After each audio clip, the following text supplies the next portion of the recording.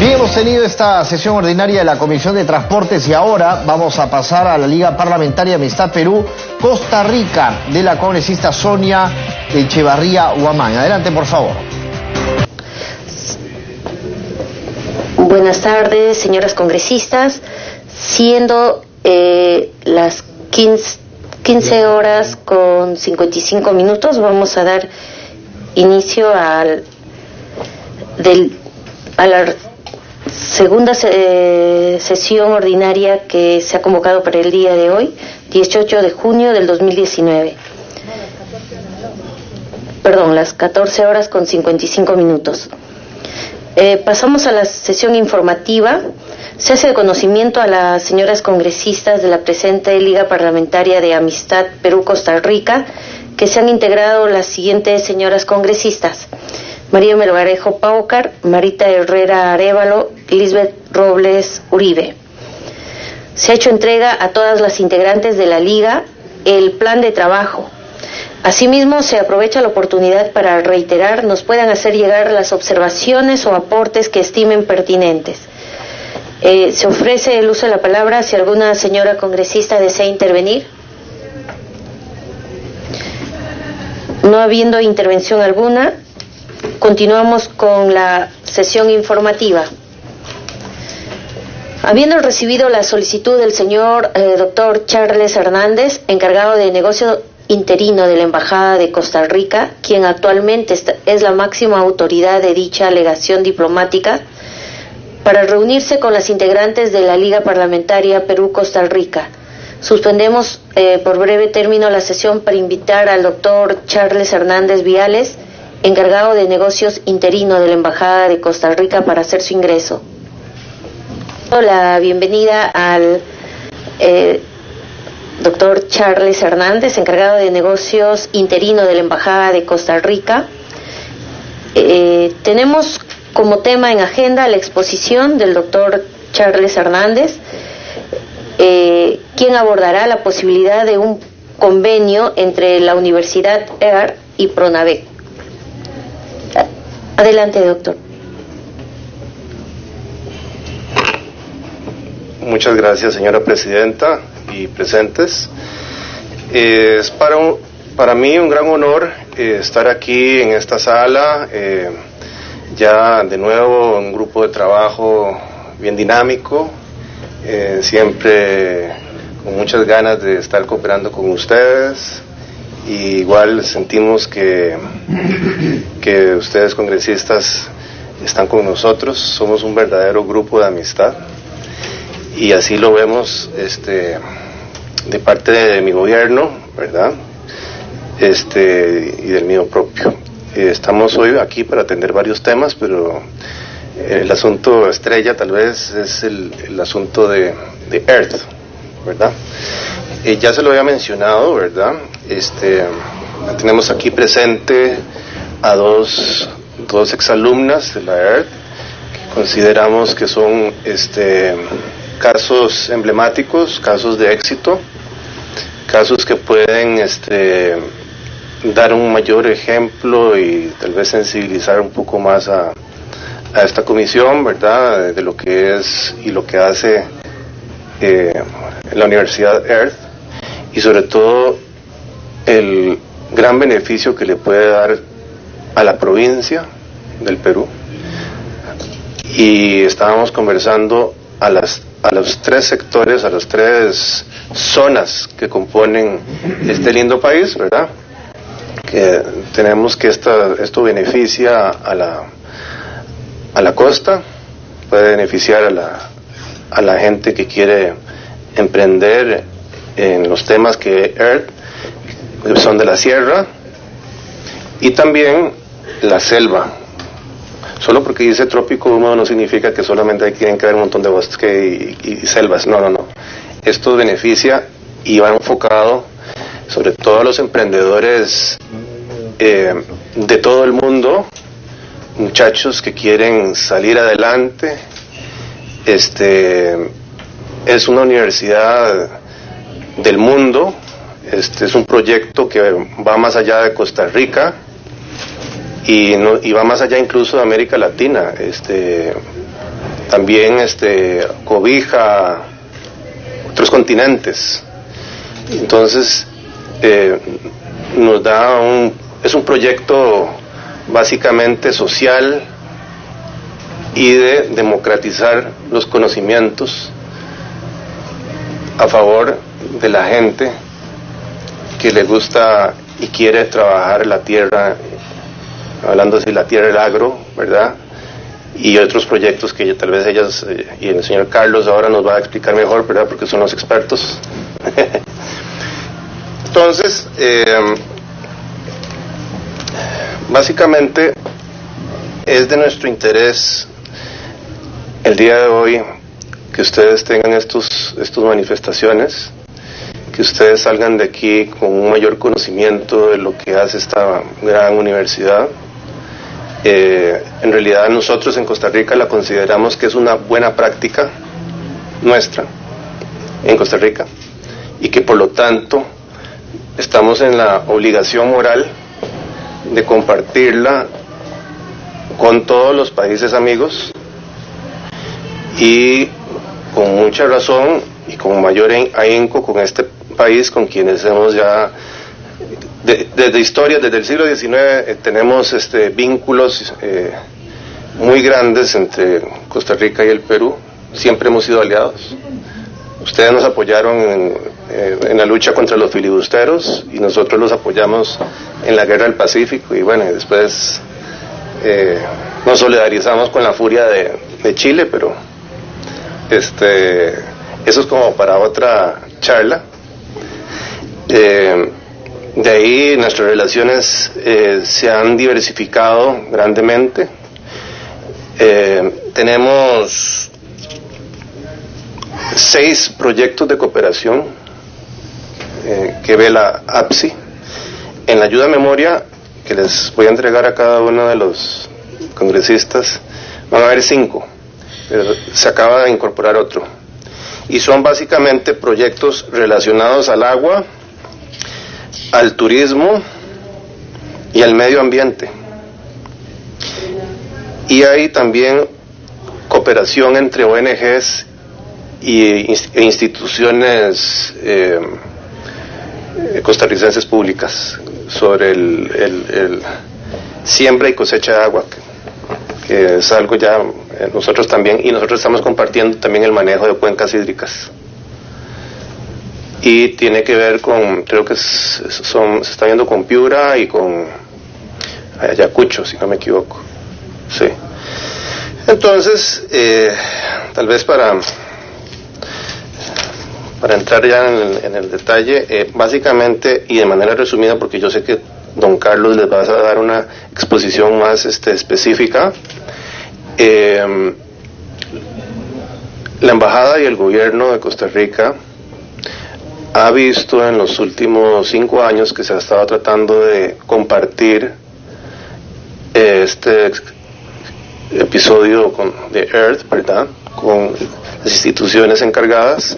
Nos hemos visto eh, algo así como medio bloqueados, no a propósito, sino bloqueados por por esta burocracia que nos afecta a todos los países, que cuando hay un cambio de gobierno o cuando hay cambio de autoridades simplemente se desaparecen los expedientes y este, hay que empezar de cero y, o hay decisiones casi tomadas y cuando llega el momento nos llevamos la gran sorpresa porque nosotros siempre estamos acompañando la ERT y nos dicen eh, otra vez todo para atrás.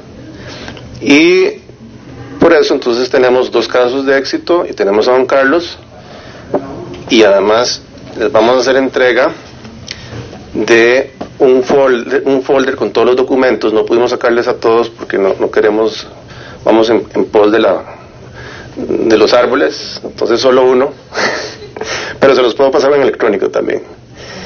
Eh, entonces, eh,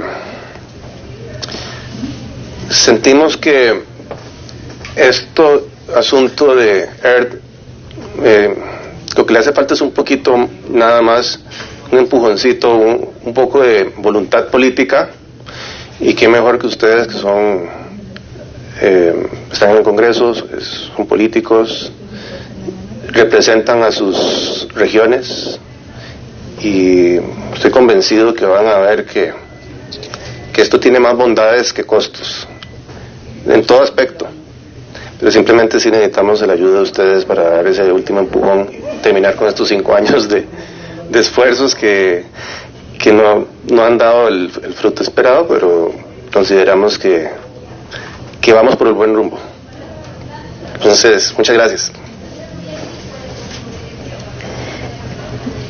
Gracias al doctor Charles Hernández, encargado de negocios interino de la Embajada de Costa Rica. Estando presentes las señoritas Ingrid Espinosa y Carmen Cameco, exalumnas de la Universidad Air, se les concede el uso de la palabra. Eh, ¿Podemos comenzar con la exalumna Ingrid Espinosa?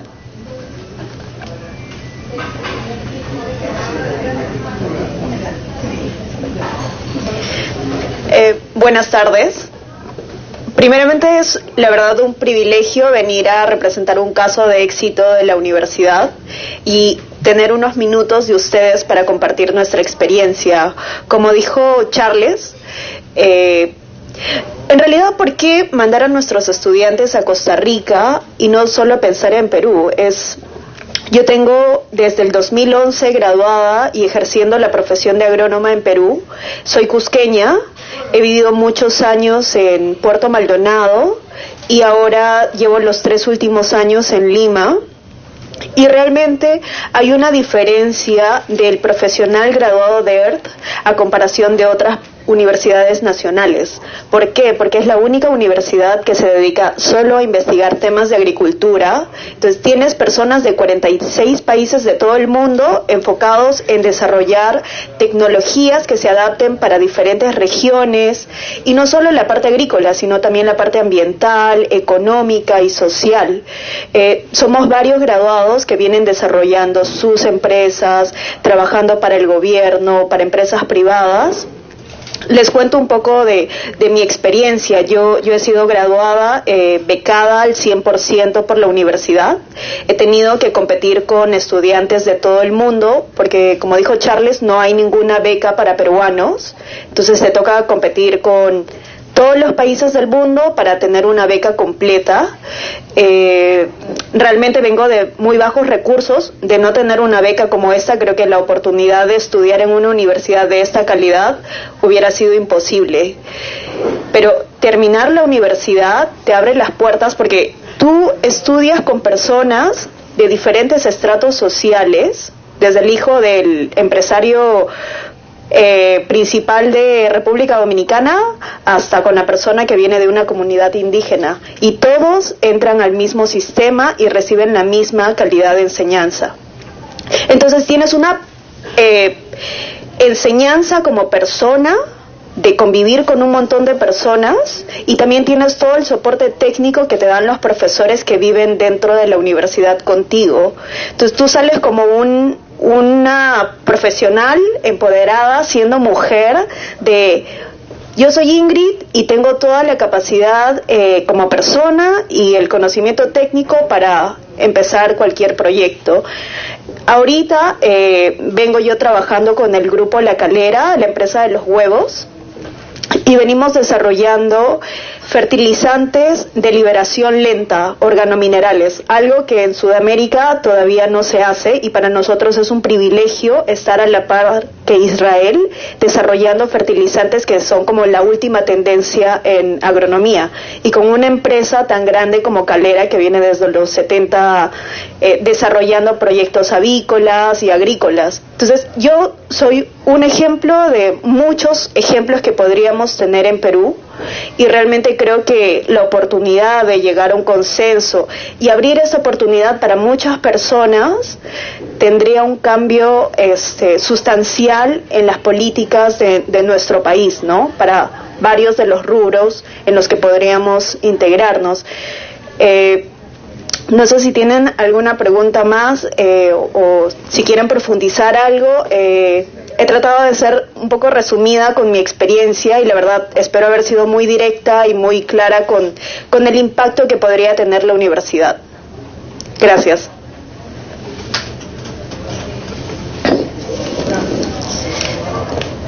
Eh, la exalumna Carmen Cameco, si podemos escuchar, y una vez eh, terminada la exposición, podemos hacer algunas preguntas. Gracias. Sí. Bueno, buenas tardes. Eh, de la misma manera como Ingrid, eh, es un gran privilegio para mí y un honor representar a los exgraduados de la Universidad de del Perú. Nosotros somos alrededor de 39 graduados que hemos terminado esta carrera de Ingeniería Agronómica en la Universidad de ERT. Solamente un poco para ahondar cuáles son las ventajas y cuáles son los beneficios que trae no solamente a los graduados de la Universidad de ERT como eh, profesionales, sino también cómo es que las potencialidades que nosotros como estudiantes hemos recibido eh, como parte de la enseñanza en esta universidad tan eh, importante dadas las circunstancias en las que nosotros hemos estudiado, como lo mencionaba Ingrid, en un ambiente multicultural, en un ambiente donde hay diferentes estratos sociales, pero donde todos hemos tenido la oportunidad de acceder a una misma calidad de enseñanza, pero que además de eso hemos tenido la oportunidad de recibir como parte de nuestro bagaje profesional, las experiencias exitosas que se desarrollan en cada uno de estos países con los cuales nosotros estamos haciendo este, nuestras, nuestros estudios, ¿no? En el caso mío particular, cuando yo estaba estudiando en la Universidad de Earth, tuve oportunidad de compartir con gente de diferentes partes del mundo. En, este caso, mi promoción albergó a dos de los primeros africanos que estuvieron que, que estudiaron en la universidad y parte de la, de la, importancia que tiene estudiar en la Universidad de Art es que nosotros podemos replicar en el Perú estas experiencias exitosas que se desarrollan en todos y cada uno de los países con los cuales nosotros estamos estudiando, ¿no? Eh, además de que eh, generar la articulación que se puede tener con profesionales que están distribuidos a lo largo del mundo, también puede generar una articulación de la implementación de diferentes tipos de proyectos a nivel del país, ¿no? Además de que con, la con las diferentes actividades que se pueden desarrollar al interior de nuestro país y de la mano con otros países hermanos con los cuales nosotros hemos tenido la oportunidad de participar en nuestras acciones, en nuestros estudios, se puede generar una este, promoción del desarrollo sostenible, ¿no? Y que pueda a través de, estas alianzas que se pueden generar con eh, otras instituciones y con otros gobiernos, se pueda generar y promover el desarrollo sostenible. Nosotros, dentro de los 39 graduados que somos en el, en el Perú, eh, hemos, provenimos de diferentes regiones, ¿no? De la costa, de la sierra, de la selva, y podemos implementar diferentes acciones.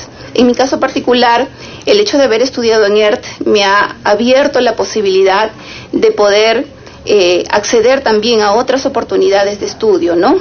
Eh, yo también soy becaria del eh, Ministerio de Educación japonés, he estudiado una maestría en ciencias agrícolas en la Universidad de Kioto y el, el, hecho de haber tenido la oportunidad de haber sido graduada de ERT me abrió las puertas también para poder acceder a otras oportunidades de estudio, ¿no? Y que eso de alguna manera no solamente potencia mi capacidad de desempeño como profesional, pero también mi capacidad de impacto dentro del desarrollo de nuestra región. Actualmente yo estoy laborando en el Ministerio del de, eh, Ambiente como directora ejecutiva de un programa que recientemente ha terminado sus intervenciones en las regiones de Cusco, Puno y Madre de Dios. Y hemos tenido la oportunidad a través de este programa de generar el impacto en más de 7.000 familias de las tres regiones del ámbito de intervención de este, de este programa. Hemos tenido la oportunidad de financiar 41 proyectos de inversión pública orientados a eh, el desarrollo sostenible, a generar eh, recuperación de áreas degradadas, a generar eh, limpieza pública, a generar eh, actividades de conservación del medio ambiente.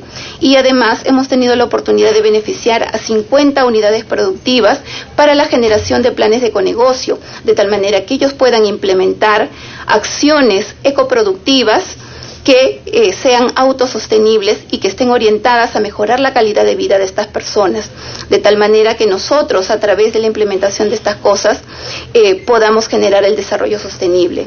Eh, yo agradezco infinitamente a la beca que me dio la Universidad de Earth y a la posibilidad que tuve de acceder a esta educación de calidad que ahora me permite poder desarrollar actividades de liderazgo y que me permite además poder desempeñarme y generar un impacto para el desarrollo sostenible del Perú, ¿no? Y que además a través de estas actividades que vengo desarrollando me puede dar la oportunidad de seguir generando alianzas, de poder seguir generando articulación con otros colegas que tenemos ah, en todo el, en todo el mundo y que con los cuales podemos nosotros generar alianzas estratégicas y podemos generar proyectos de cooperación interinstitucional a través de los cuales podemos desarrollar este, proyectos para impulsar la mejora de la calidad de vida de nuestros conciudadanos, ¿no? Esa es la importancia y ese es el impacto que yo le veo a generar eh, mayor cantidad de profesionales que salgan de la Universidad de Arte que sean capaces de convertirse en líderes del desarrollo, que sean capaces de convertirse en líderes de cambio, ¿no? Y de impactar de manera positiva al desarrollo sostenible, al cuidado del medio ambiente y que de esa manera nosotros, como graduados de la ART, podamos contribuir a la implementación de diferentes eh, este, eh, desarrollos, ¿no? de diferentes acciones de desarrollo. Entonces, eh, la idea que tenemos hoy día y por lo cual nosotros, tanto Ingrid como yo, estamos aquí, no solamente es compartir nuestra experiencia, sino también motivar a que a través del apoyo de ustedes, que son congresistas ¿no? del Perú, puedan acompañar a la Universidad de Arte y puedan acompañar a esta iniciativa para que a través de Pronavec se pueda gestionar también la implementación de becas para que más peruanos puedan acceder a esta educación de calidad y que juntos podamos implementar estas acciones de desarrollo para nuestro país. Muchas gracias. Muchas gracias a las dos exalumnas, Ingrid Espinosa y Carmen Cameco. Eh, si hubiera alguna pregunta, congresista Estelita Bustos. Gracias, Presidenta. Gracias, Presidenta. Buenas tardes. Sale acá presentes. Quiero decirles que ya este convenio que ustedes tienen, ya han firmado el convenio, están para firmar el convenio, presidente. O sea, ¿qué necesitarían de nosotros para poder nosotros colaborar? Nosotros tenemos toda la voluntad de poder contribuir con esto, que es beneficio para el país, para la educación. Acá tiene la Liga presente, que estamos seguros que vamos a lograrlo. Tienen todo nuestro respaldo. Pero queríamos, ¿de qué forma le podemos ayudar? Estamos dispuestas. Gracias. Eh, para que este conteste el doctor Charles Hernández. Eh, básicamente, este, mm, buena parte de su pregunta, don Carlos nos la va a explicar de una mejor manera, porque él es el que ha llevado cinco años, lleva más que yo en este proceso, y él nos va a explicar. Eh, básicamente lo que necesitamos de ustedes es ese empujoncito, ese apoyo político, por lo menos para que no siga ocurriendo lo que ha pasado ya más de una vez, que ya son como tres o cuatro, en donde estamos a punto de llegar a un acuerdo con Pronavec, cambian los, las autoridades y es los expedientes se van, este, el esfuerzo, o sea, siempre ha estado muy a punto de ser aprobado este, en la institución para, para ser beneficiaria de la, de la beca, es una beca compartida. Este, creo que lo que va a cubrir es 60% EARTH y el resto el, sí, el, gobierno de Perú.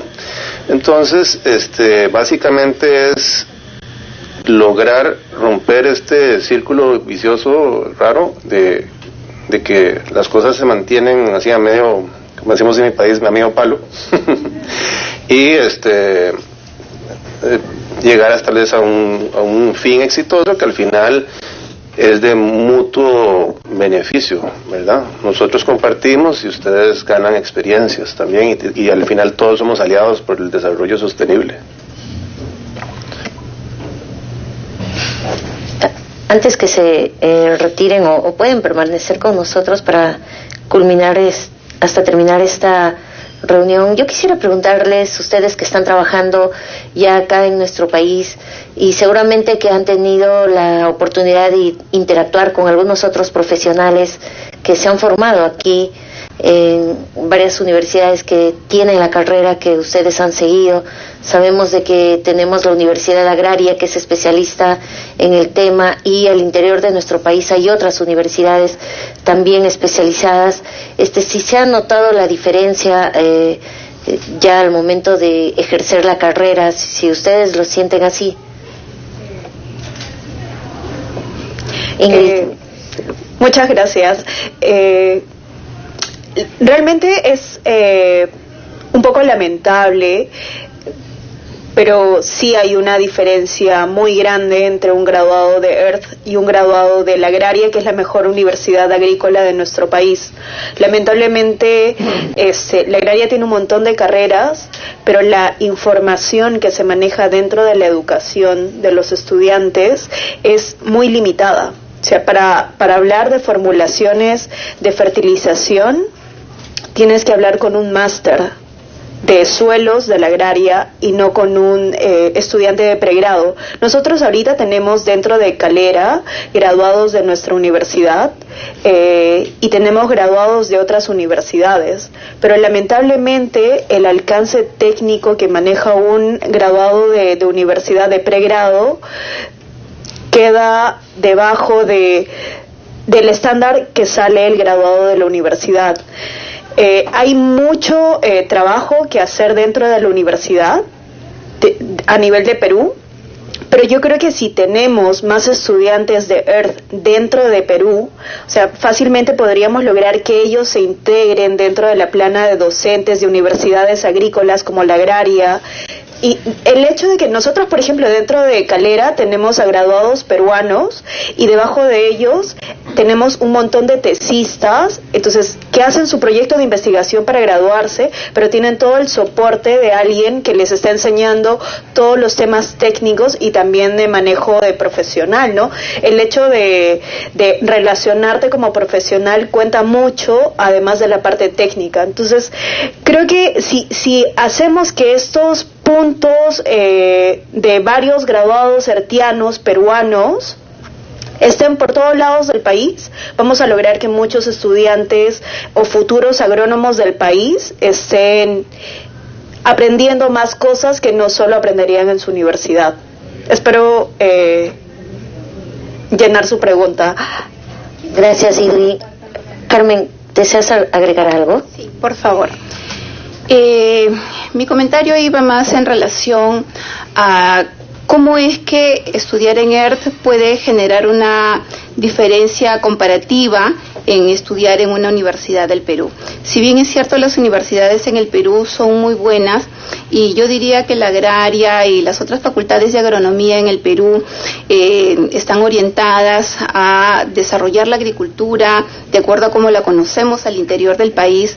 La diferencia competitiva y comparativa que puede darle a un profesional estudiar en la Universidad de ERT es que existe una filosofía de aprender haciendo, ¿no? Y digamos ahí es donde iba el comentario de Ingrid en relación a que nosotros como graduados de ERT desde el pregrado podemos implementar ya la teoría que se imparte en las universidades en el Perú de manera práctica, ¿no? Y que nosotros ya desde el momento que estamos haciendo el pregrado podemos hacer eh, una mejor implementación de las prácticas y la tecnología más reciente en términos no solamente de agronomía, sino en términos de mejoras a nivel ambiental, dado que la carrera que nosotros llevamos, si bien es cierto, es de ingeniería agronómica, ¿no? El título que nosotros ostentamos es de ingenieros agrónomos, sin embargo, tiene una orientación que está soportada en tres pilares importantes, que es el desarrollo sostenible y sobre el cual nosotros también